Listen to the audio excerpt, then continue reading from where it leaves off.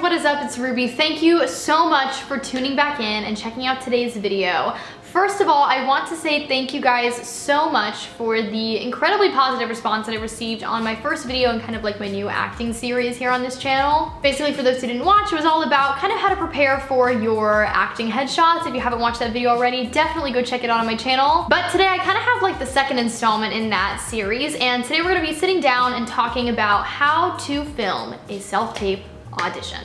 This is something that as an actor, you're gonna have to do quite a lot. Of course, there's gonna be a lot of auditions where you go in in person, but I cannot tell you guys how many self-tapes I film, even just like over the course of a week. I feel like this is something that's very important and I knew that I wanted to put it out kind of towards the beginning of this new series on my channel. So without further ado, I'm just gonna dive right into today's talking points and I really hope you guys enjoy. Take a little sip of my soda first because that's healthy.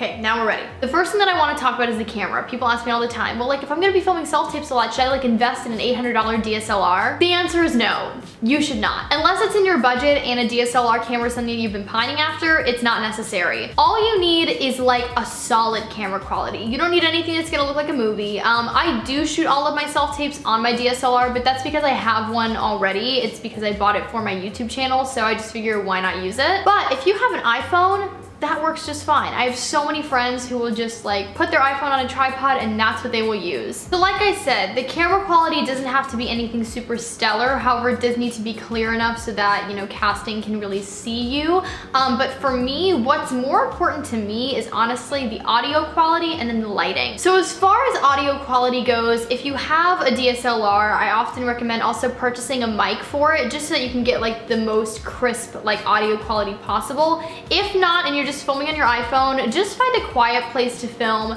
A solid background is what I always recommend. You don't want anything super distracting. You want casting to be able to focus on you. As far as lighting goes, I always say this, natural lighting is the best lighting. Um, I just find that artificial lighting or if you have like soft boxes or something, sometimes it can just look like way too much. It starts looking more like a production rather than just like an authentic self-tape. And for me personally, I just prefer natural lighting because I find that like everything's a bit more true to color. Um, nothing looks super washed out. So again, they can really see like your features. Now, as far as like your clothing, your hair, and your makeup goes, I always say that it should be clean, neat, and similar to what you have in your headshot. I've had so many people ask me if costumes are necessary. They are not necessary. In fact, please stay away from costumes unless specified. Just wear an outfit that you feel is really you. So like for me, I usually wear like a pair of dark denim. I'll wear like a cool t-shirt, a denim jacket, and simple accessories. As far as my hair and makeup, I'll usually do like messy waves with the straightener because that's what I have in my headshot, and then I'll do just like a really clean,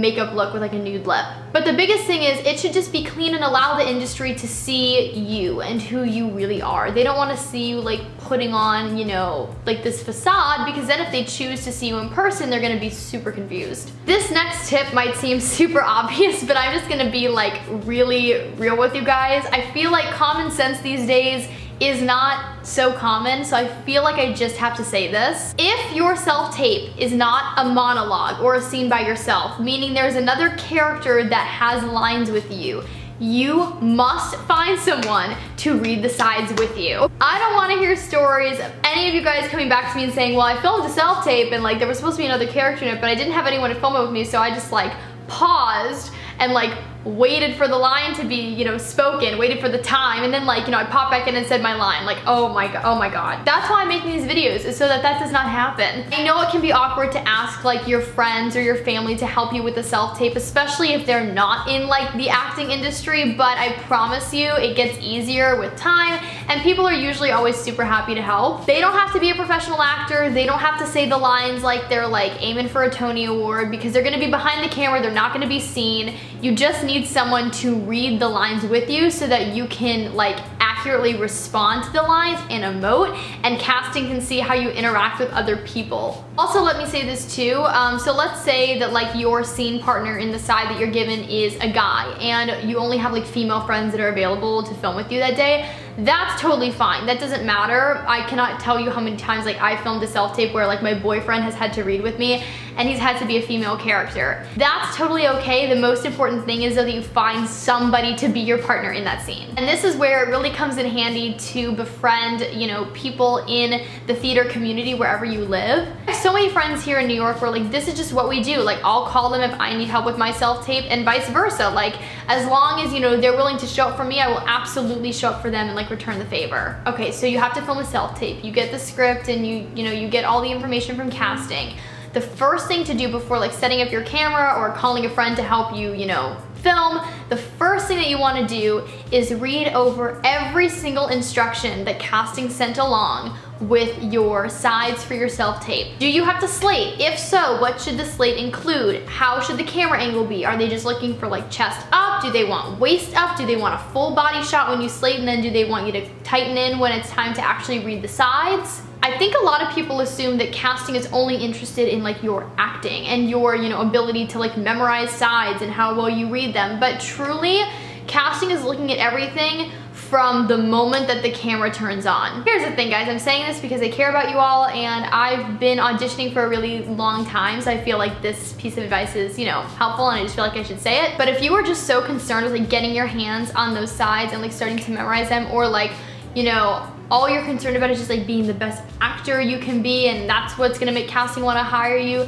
let me tell you, casting is paying attention to everything about you from the second that you turn on the camera and like the second that, you know, the video starts for them. So if you're so concerned with like, you know, your acting and the sides and you're so like excited to get the sides that you kind of overlook everything else and you don't realize that, you know, they're asking you to like slate a certain way or say something in the beginning of the video, then casting is gonna just assume, oh, okay, I guess she can't take directions because if she doesn't even realize that she's supposed to slate in the beginning of this audition video, what makes us think that she's gonna be able to take direction if she actually books a job? If they're asking you to slate at the beginning of your self-tape, which usually they do want you to do, um, that is your one time that you are allowed to look in the camera and introduce yourself. For the rest of the audition, unless otherwise specified in the script, the camera is not your scene partner. Your scene partner that you're speaking to is your scene partner. I know it can be kind of overwhelming and kind of nerve wracking to have like a camera being pointed at you like while you're reading a scene and all you wanna do is just like make eye contact with the lens, but that's not gonna help you. Unless you're like auditioning for some sort of like mockumentary film or they say like in the script specifically like this character, you know, says line into camera. I just wanna say this one more time. I know that I briefly touched on it, but like I said, costumes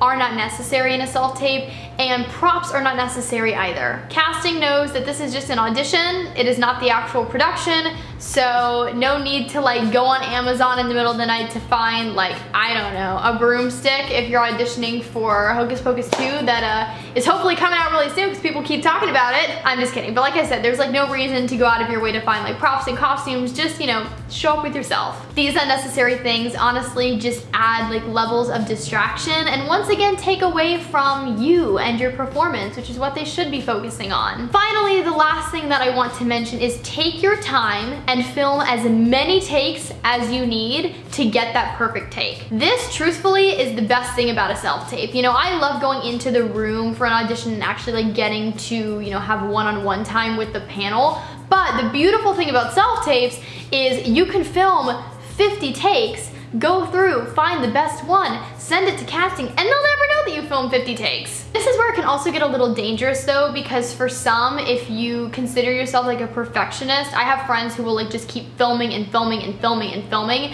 and to be honest, I think that that's a little problematic as well, just because then you have like so many clips and it can make you feel really overwhelmed. So for me, usually, usually, I only do about three to four takes when I'm filming a self-tape. But if it's something that's like really challenging or I feel like I need more time, the max that I will do is 10 takes because when it comes to like the performing arts, there is no such thing as perfection. You know, we as artists, we are always striving for perfection, but it's never something that anyone is actually going to reach. Perfection is impossible, but you do want to get as close to it as possible. So I feel like usually 10 10 takes is like a good number. In those 10 takes, you should be able to find one that you feel best represents you and your talents. Also, just a little bonus tip. Um, this is just something that I do in my self-tapes. You don't have to do this by any means, but I just wanna mention it because I feel like it does really help. At the end of all of my tapes, so like I finish my final scene, I like fade to black, I will always just include one more little clip saying like, thank you so much for your time. I look forward to hearing from you. You know, if you have any additional like requests, please feel free to send them my way and have a great day or something like that. By adding just a personal message that like casting didn't even ask for, it shows them that you're like really grateful for this opportunity and it also once again gives them a little bit of a peek into your personality as well. But there you guys have it. Those are all of my tips and tricks on how to film a self-tape audition. I really hope you guys did enjoy today's video. If you did and you're excited for more videos surrounding like, you know, tips for the new actor or anything like that, please feel free to give this video a thumbs up. It really lets me know that you guys want to see more of this type of content. Please be sure to subscribe if you haven't already and help me grow the Ruby Rocks the World family. It would mean the absolute world to me. And follow me on all my other social media networks. If you haven't already, the links are always in the down below. I hope you guys are having an awesome day, night, afternoon, whenever you guys are watching this. And I will talk to you all in my next video. Okay? Bye everybody.